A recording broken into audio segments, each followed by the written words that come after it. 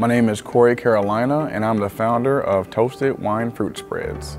I started our business in April of 2012 with the hope to sell our wine jelly that I come up with. My grandmother used to make jelly and she would always try to get me to learn how to make her recipes, but I was a teenager at the time and so I was more interested in eating the food versus making the food. And so when my grandmother passed away, I got inspired to make my own jellies that would have made her proud if she was still living. So I started looking at different recipes online and what I did is I noticed that there was not a recipe that added real fruit with their wine jelly.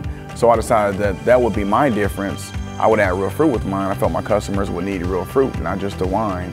We won some awards. One of the ones I'm most proud of is the TCC Startup Cup. We were one of 80 applicants to apply, and we won the Spirit of Innovation Award. I wanted to partner with Reasor's because I used to work for Reasor's. I worked there three years whenever I was in high school in the produce department, and so it was amazing to me to have a product that I make actually selling into the store I used to work at. It's great.